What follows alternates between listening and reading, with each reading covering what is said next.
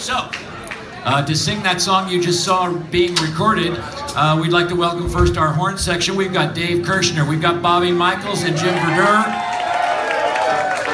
On the keyboards, a great Philadelphia legend, Mr. Wally Smith.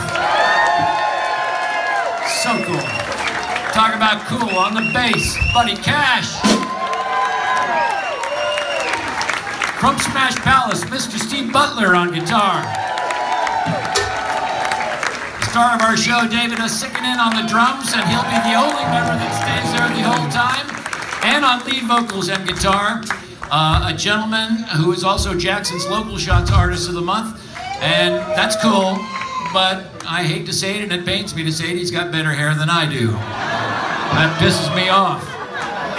But he's a nice French lad. Please welcome Joey DiTullio. Hey everybody! This is this is in the pocket. Have a great time.